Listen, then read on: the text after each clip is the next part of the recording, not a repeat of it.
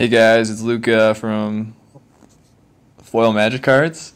Uh, it's a new kind of website I'm starting and YouTube channel.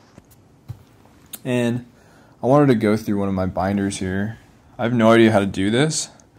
This is like my first video holding my phone instead of like recording myself on the screen of the computer, so we'll see how this goes.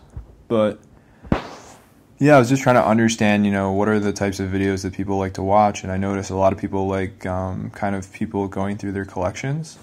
So I'll just go through my collection. You guys can. This isn't everything, but it's one of my binders, and it's all foils, and it's all old border foils.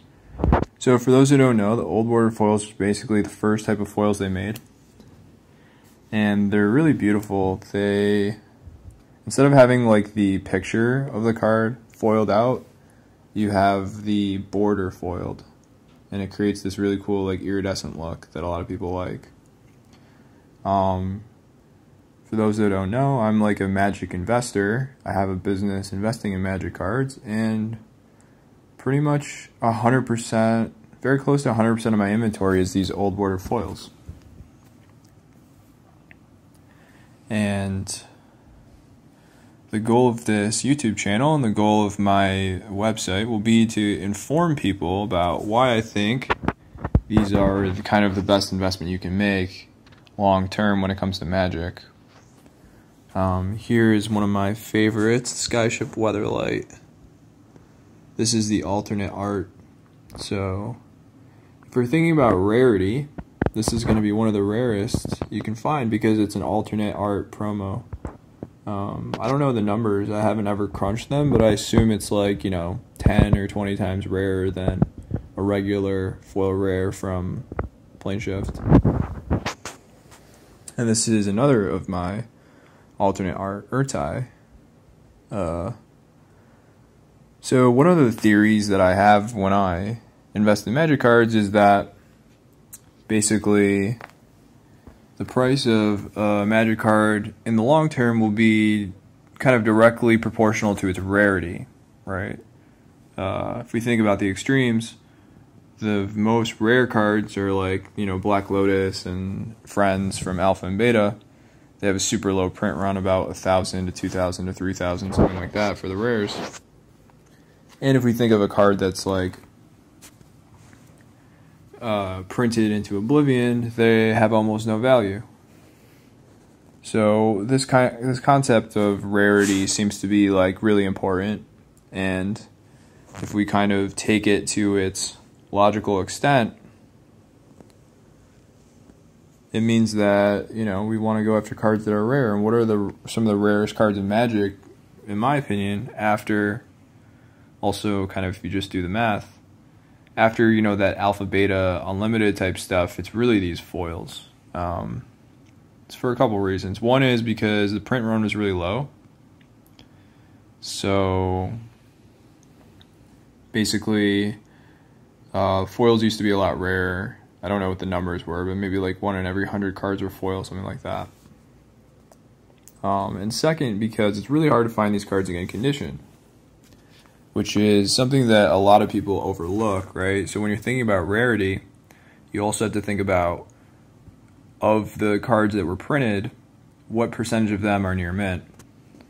And if a low percentage of them are near mint, then it's going to create uh, basically an additional supply shock. And the reason why these foils are really hard to find in near mint is because they decay like very easily over time. So especially if you get to kind of the extremes. Like, say, you know, a BGS 9.5 or CGC 9.5 or a PSA 10, it's really, really hard to find these. Like, almost impossible. Sometimes you can't even just find like a regular near mint copy on TCG Player. So the sets that had these types of foils started in Urza's Legacy, and the last set was Scourge, I believe. So here's a Scourge card, Ghastly Remains. Um, and, you know, part of what I'm going to do on this YouTube channel is I'm going to give you guys a lot of data that I've been collecting.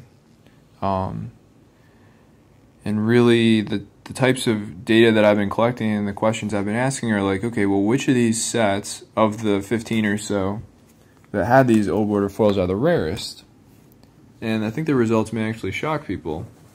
A lot of people think Urza's Legacy, like this expendable troops here, is the rarest, but based on my data, I think actually the rarest sets are the Mercadian Masques block. So let's see if I can find a Mercadian. So here are some, these planes here. Obviously the basic lands are going to be the most common to find, but uh, anything from Mercadian Masques or Nemesis or Prophecy, I have found are super, super difficult to get a hold of.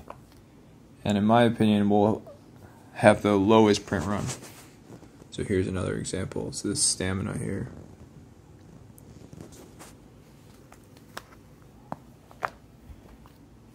Uh, so yeah, if I had to make a prediction, here's a Nemesis card here. The cards that will appreciate the most in value, or here's a Mercadian Masques foil, uh, will be from that block. So those are the cards that I've been going after lately. Um, another thing to always think about in these sorts of situations is what is the number of cards in the set. Look, for example, for Mercadian Masques, it's a really big set, so it's a lot harder to get each individual card. So anytime you have a big set, it also makes the cards rare. Here's a nice uncommon from Prophecy, very difficult to find. Uh, yeah, so that's basically what I do. You know, I just I buy all these uh, old border foils and hope they go up in value. Got some bloodhounds here. Goblin Festival, Blessed Reversal. Obviously, the rares are the ideal thing to get because they're gonna have the high, have the lowest print run. Some lithophages. Um, yeah, and uh, I just plan to keep, you know, coming out with more and more information and data on these foils and and hopefully, you know, educate people on them. You know, what is the rarity of them? What is kind of the outlook in the future? How do you grade them in terms of condition? Uh, does it make sense to grade them? What happens if you get a 9 or a 9.5? What does that do to the price? So on and so forth. Phyrexian Reclamation is a nice one because of EDH.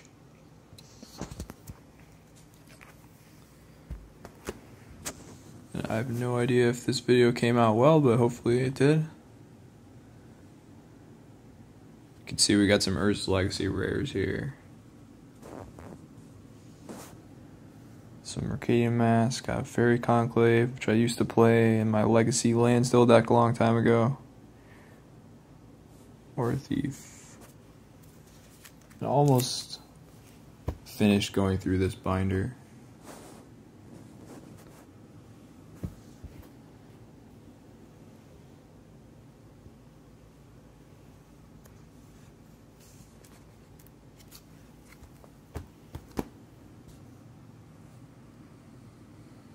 Got another Faerie Conclave here. I got almost all the manlands, missing the red one.